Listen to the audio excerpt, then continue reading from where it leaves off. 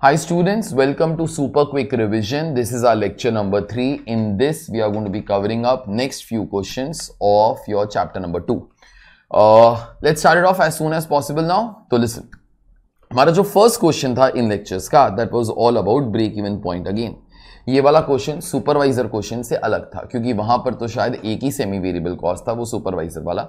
लेकिन यहाँ पर they were many types of semi variable cost and many types these we all had grouped into three into three मतलब एक यहाँ पे ऑल दो कॉस्ट जो बसेस के ऊपर डिपेंड होता है। बसेस के ऊपर हर 50 स्टूडेंट्स के बाद यू यू इनकर सम कॉस्ट उसके अंदर एक यहाँ पे बस कॉस्ट था, वो सात सौ रुपए का। एक यहाँ पे परमिट फ़ीस का कॉस्ट था और यहाँ पे टू टीचर्स का कॉस्ट था तो हंड्रेड इंटू टू सो देखो नाइन फिफ्टी रुपीज़ ये जो नाइन फिफ्टी रुपीज़ वाला कॉस्ट है, ये ऐसा कॉस्ट है जो हर फिफ्टी स्टूडेंट्स के लिए लग जाता है। फिर यहाँ पे एक और अजीब कॉस्ट था block entrance fees block entrance fees उन लोगों ने दे के रखा हुआ था। Okay okay. फिर उसके बाद यहाँ पे एक और कॉस्ट था that was nothing but cost the prices जिसका कैटेगरीज उन लोगों ने ऐसे अपने को देके रखा हुआ था, ठीक है? जिसकी वजह से ये वाला क्वेश्चन थोड़ा सा स्पेशल बन जाता है। It can not be solve in that particular manner जैसे पहले हुआ था। Okay okay. इस क्वेश्चन का जो फ़र्स्ट और सेकंड पार्ट था बहुत सिंपल था। There was nothing to be done लेकिन थर्ड पार्ट करते करते हम लोग को ब्रेक इवन पॉइंट निकालना था। ब्रेक इवन पॉइंट निकालते निकालते आप लोग फॉर्मूला यूज़ करते हो। फिक्स कॉस्ट अपॉन कॉन्ट्रीब्यूशन पर स्टूडेंट कॉन्ट्रीब्यूशन के लिए आप लोग को सेलिंग प्राइस की ज़रूरत पड़ती है और एक वेरिएबल कॉस्ट की ज़रूरत पड़ती है। जो वेरिएबल कॉस्ट था वो फोर्टी था, वो बहुत ईजी है। लेकिन सेलिंग प्राइस मतलब fees to be received fees to be received के ना, मैं तुमको ये वाला चीज़ वो बोला था, अपने को यहाँ पर जब भी एक स्टूडेंट ट्रिप ज्वाइन करता है सिक्सटी फाइव रुपीज़ वो स्टूडेंट देता है और कॉलेज दस रुपए का सब्सिडी रिलीज़ करता है। ये दस रुपए का जो सब्सिडी है, शायद कॉलेज के लिए एक्सपेंस होता हो, लेकिन ट्रिप के रेफरेंस के ना दैट बिकम्स इनकम तो अपने को in end seventy five rupees मिलता था नॉट सिक्सटी फाइव ठीक है? तो 75 माइनस द वेरिएबल कॉस्ट अपना कंट्रीब्यूशन यहाँ पर थर्टी रुपीज़ का आ गया था, ठीक है? लेकिन उसके बाद ब्रेक इवन पॉइंट्स निकालने के लिए मैंने तुम लोग को एक ट्रिक समझाया था और वो ट्रिक या फिर वो हिंट किया था? Every semi variable cost is also a fixed cost, but within its own category. And there were three types of semi variable costs. Costs that are dependent upon number of buses, okay? जो 950 rupees पर बस था, एक यहाँ पे block entrance fees और third यहाँ पे जो प्राइजेस वाला कॉस्ट था। लेकिन अपने को क्या करने का था? ये तीन कॉस्ट को अपने को ऐड करना था ओके okay. अभी ऐड कैसे करेंगे यार? ऐड इन दिस केस करने के लिए तो अपने को यहाँ पे क्या करना पड़ता है? We have to be forming all the different categories with in which semi variable cost behaves as a fix cost उसका मतलब क्या है? तुम्हारा first category one to fifty का बनेगा। Second category fifty one to hundred का बनेगा। उसके बाद third category hundred one to one fifty का नहीं बनता। क्यों? क्योंकि 125 के बाद बेटा प्राइजेस जो कॉस्ट है ना सॉरी ये प्राइजेस का कॉस्ट है। जो प्राइजेस का जो कैटेगरीज है, वो बदल जाता है। Prices cost will change after 125 okay तो हम लोग को उसको फिर अलग कैटेगरी के अंदर बना देना पड़ेगा, क्योंकि 125 स्टूडेंट्स के बाद तुम्हारा प्राइजेस का कॉस्ट बदल जाता है। बाकी जो है 151 टू 200 201 टू 250 एंड 251 टू 300 ठीक है? तो हम लोगों ने ये सारी के सारे तीन अलग अलग टाइप ऑफ़ कॉस्ट मर्ज करने थे। मर्ज करके यहाँ पे ऑल डिफरेंट कैटेगरीज वो बना दिया, ठीक है? और उसके बाद फिर हर एक कैटेगरी का हम लोग ब्रेक इवन पॉइंट निकालते गए ओके हर एक मतलब यहाँ पे सेवन कैटेगरीज बनी तो हम लोगों ने सेवन ब्रेक इवन पॉइंट्स निकाल दिए। यहाँ पर ब्रेक इवन पॉइंट 68.33 आया 105 आया 140 आया 145 आया 180 आया 220 आया 255 आया था। ये जो 68.33 है, जरा सोचो 1 टू 50 कितने भी स्टूडेंट्स आ जाएँगे based upon your fixed cost मतलब सेमी वेरिएबल कॉस्ट तुम्हारा ब्रेक इवन पॉइंट 68.33 है। 68.33 है तो मतलब मैक्सिमम 50 बच्चे लोग ही आ सकते हैं, इससे ज़्यादा तो आ ही नहीं सकते। तो इस कैटेगरी के अंदर लॉस होगा। सेम वे नेक्स्ट कैटेगरी के अंदर भी मैक्सिमम 100 ही आ सकते हैं। तुम्हारा ब्रेक इवन पॉइंट 105 है तो यहाँ पर भी लॉस ही होने वाला है। थर्ड के अंदर भी लॉस ही होने वाला है। फोर्थ कैटेगरी से break even point will start fourth category के अंदर वन से लेके वन तक बच्चा लोग आ जाएगा तो लॉस होएगा। वन पे zero profit one to one fifty they'll be profits okay same way 151 से लेके 179 तक देल बी लॉसेस 180 पे देल बी ज़ीरो प्रॉफिट 181 से लेके 200 तक they'll be profit so on and so forth बस हम लोगों ने यही वाला चीज़ किया था। यही वाला मैंने यहाँ पे लास्ट पॉइंटर के तौर पे लिखा हुआ some break even points will get rejected because answer does not fall with in the category range ठीक है? ये था तुम्हारा question number one it is suppose to be a two star question अभी उसके बाद क्वेश्चन नंबर टेन तुम्हारा। ये जो तुम्हारा क्वेश्चन नंबर टेन था ना this was a last question on break even point ठीक है? ये जो ब्रेक इवन पॉइंट का अपना लास्ट क्वेश्चन था, यहाँ पर मैंने तुम लोग को एक ग्राफ बनाकर भी दिखाया था कि वो वाले ग्राफ जहाँ पे एक से ज़्यादा ब्रेक इवन पॉइंट दिखता दिखता है। वहाँ पर दो charts called as curvilinear break even chart ठीक है? वो हम लोगों ने, मेरे ख्याल से, एक ऐसा कुछ ग्राफ बनाया था। तुम्हारा सेल्स का लाइन तो कभी नहीं चेंज होएगा, क्योंकि सेलिंग प्राइस नहीं बदलता। लेकिन तुम्हारा जो टोटल कॉस्ट का लाइन है, पहले यहाँ पर आ जाएगा, उसके बाद फिक्स्ड कॉस्ट वो बदल जाता है। सो देखो ये लाइन यहाँ से अभी टूट के तो ऊपर से जाएगा। और उसके बाद वेरिएबल कॉस्ट पर यूनिट भी बदल जाता है सो देयरफॉर इस लाइन का जो एंगल है that will start to be changing okay तो एक ब्रेक इवन पॉइंट तुम्हारा ये आता है एक ब्रेक इवन पॉइंट तुम्हारा ये आता है. अभी ऐसे क्वेश्चन के ना ब्रेक इवन पॉइंट निकालने के लिए हम लोगों ने बस एक सिंपल काम किया था. 50,000 तक डेटा चेंज नहीं होता आप लोग 50,000 तक अपना ब्रेक इवन पॉइंट निकाल लो ठीक है? तो वो अपना फ़र्स्ट ब्रेक इवन पॉइंट जो है that it come to 40,000 students ठीक है? डेटा कब तक चेंज नहीं होता? 50,000 तो मैं 50,000 तक पहले सोचा कि प्रॉफिट कितने रुपीस का आएगा। तो टू लाख रुपीस का आएगा अपना प्रॉफिट आप लोग निकाल के वो देख सकते हो जो हम लोगों ने तब भी किया था। तो two lakh rupees in this particular case will be a profit at fifty thousand लेकिन फिफ्टी थाउज़ेंड के ऊपर जाता हूँ मेरा फिक्स कॉस्ट चार लाख रुपए से बढ़ जाता है। उसके वजह से दो लाख रुपए का जो प्रॉफिट है वो तो है अपने पास। तो यहाँ पर अपने को दो लाख रुपए का लॉस हो रहा है अगर मैं फिफ्टी थाउज़ेंड के ऊपर जा रहा हूँ ठीक है? तो अगर मेरे को लॉस नहीं चाहिए तो मेरे को दो लाख रुपया और कमाना पड़ेगा। लेकिन हर एक यूनिट अपने को इसके बाद मतलब फिफ्टी थाउज़ेंड यूनिट्स के बाद, सिर्फ़ दस रुपये का एक कॉन्ट्रीब्यूशन वो देता है, क्योंकि फोर्टी के बाद अपना जो वेरिएबल कॉस्ट लग जाता है that is thirty rupees so there in this particular case two lakh rupees और कमाने के चक्कर में मेरे को two lakhs divided by ten rupees का कॉन्ट्रीब्यूशन बीस हज़ार यूनिट और बेचना पड़ेगा। तो पचास हज़ार प्लस बीस हज़ार seventy thousand unit was your second break even point या ऐसे कर लेना। अगर ऐसे अच्छा नहीं लगता है then in that case the other particular option आप लोग इक्वेशन बना के वो कर लेना। मेरे ख्याल से मैंने इक्वेशन बना के वो सिखा दिया था, ठीक है? तो यहाँ पर इस क्वेश्चन के अंदर दो ही ब्रेक इवन पॉइंट्स थे, जो हम लोगों ने निकाल लिए थे, ठीक है? सुन। फिर उसके बाद तुम्हारा क्वेश्चन नंबर 11 था। उसे पहले क्वेश्चन नंबर 10 के लिए जो मैंने वो समरी लिखा है, वो तुम लोग को वो बोल देता हूँ। There is one star question in any case but that I wanted to do क्योंकि मेरे को तुम लोग को ना वो वाला चार्ट वो समझाना था। In this problem the variable cost per unit changes after fifty thousand in fact even the fix cost changes hence we need to work out first break even point and then think again. When will profit become zero at 50000 we get profit of 2 lakhs then our fixed cost increases by 4 lakhs. Out of that, we already have rupees 2 lakhs. Okay. For the balance 2 lakhs, how many units we need to be selling further? Either you do this or simply in this case, you make the equation and solve. Sales less total cost should be equal to 0 because we want break even point. Okay. Also check curvilinear break even chart that has been made by us wherever the total cost line will be changing, where the total cost line will be changing after 50,000 क्योंकि 50,000 के बाद तुम्हारा cost बदल जाता है ठीक है सुनो उसके बाद तुम्हारा क्वेश्चन नंबर इलेवन था again one star question in beginning many question are one star question because we want to be developing your mind as such okay सुनो अभी इन दिस केस नो यहाँ पर कुछ भी नहीं था ओरिजिनली हमारा, हमको कंट्रीब्यूशन 125 लैक्स का मिलता था। ओरिजिनली अपना जो फिक्स्ड कॉस्ट है बेटा 105 लैक्स का था।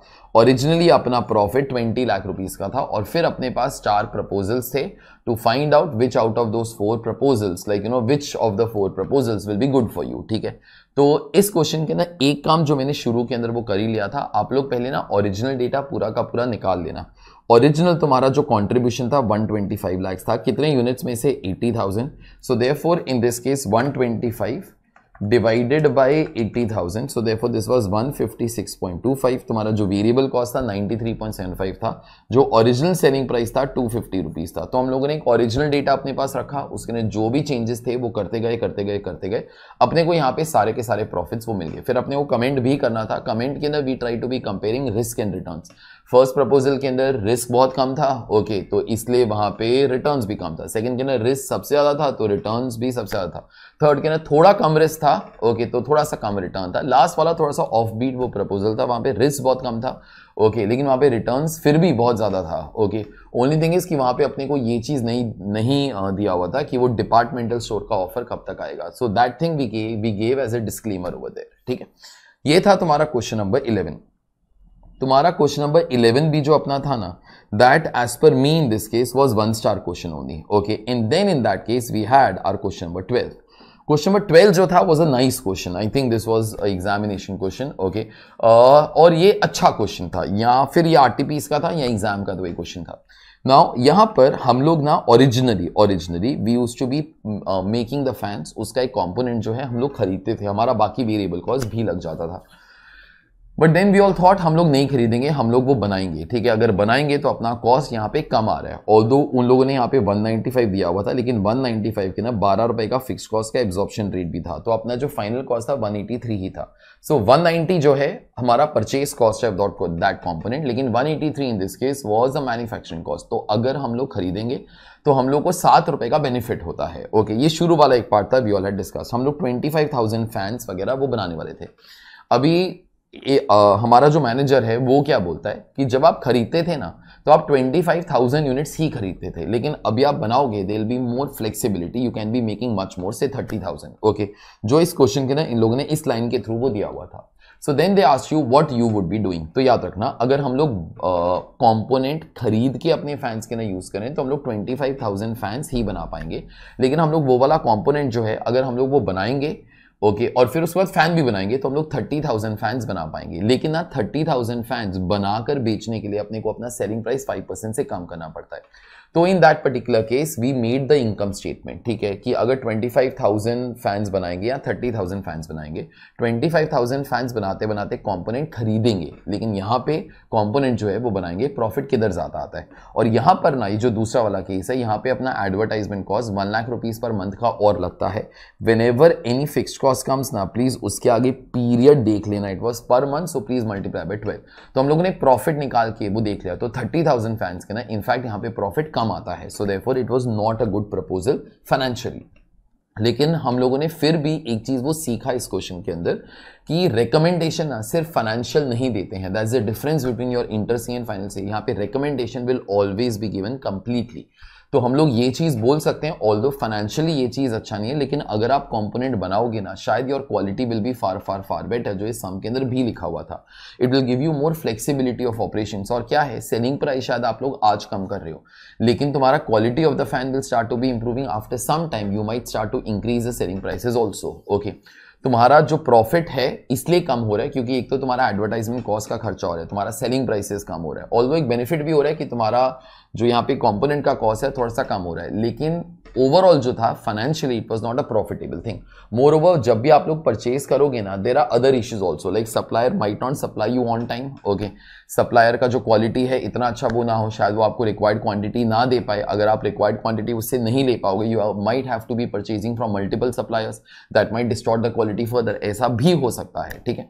तो these are all the things that we all had considered फिर उसके बाद जब ही रिकमेंडेशन देने का बारी आया, तभी हम लोगों ने एक और चीज़ भी सोचा और वो चीज़ हमारा क्या था? ध्यान से सुनना।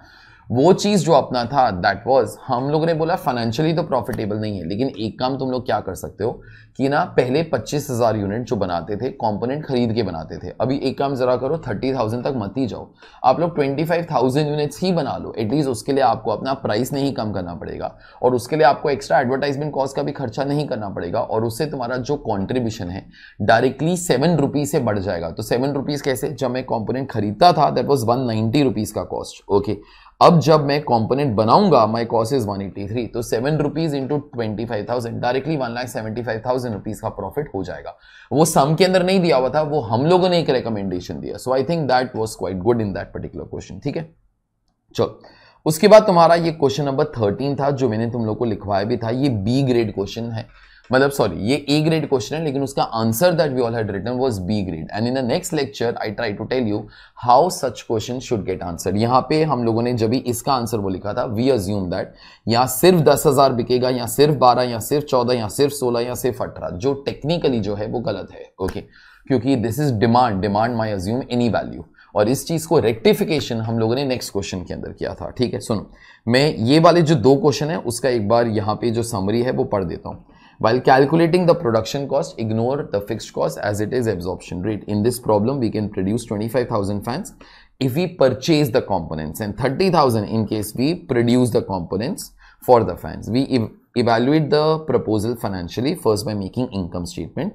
There is some other variable cost also which we will have to try to find out. Okay? Which is apart from the component cost तो हम लोगों ने वो शुरू में ना ये चीज़ कंप्यूट कर लिया था। करंट सेलिंग प्राइस 2500 था। करंट कॉन्ट्रीब्यूशन 600 था।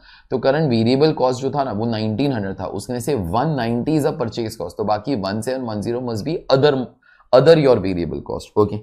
Initially uh, initially it is was not a good proposal uh, financially In part 1, we have to analyze that is we try to be finding out why the profit has gone up and down. In part 2, we have to recommend that we should go for the proposal or not. In this, we factor non-financial factors like quality and delivery on time that we all want. We also say that more units will help us to capture more market share. That'll be good in the long run. And finally, we ex we say one extra recommendation that stick to 25,000 but produce instead of purchasing अच्छा एक चीज़ जो मैंने वो नहीं बोला, एक चीज़ जरा वो यार ना जब भी आप लोग पच्चीस हज़ार यूनिट के बदले में थर्टी थाउज़ेंड यूनिट्स वो बेचोगे ना, एक और एडवांटेज है, जो आईसीए ने भी वो नहीं बोला था but I have told you कि you will be selling more units you will be able to capture more market share there will be more people will be speaking for your product so that in any case will be good only ठीक है? ये three star question था तो इसको अपने को बाद में एंड के अंदर लास्ट डे पर भी देखने का है। All three star question have to be seen towards the end This is a question that we will be doing twice. Okay. This is B grade answer as we assume that demand can only be one of the five options.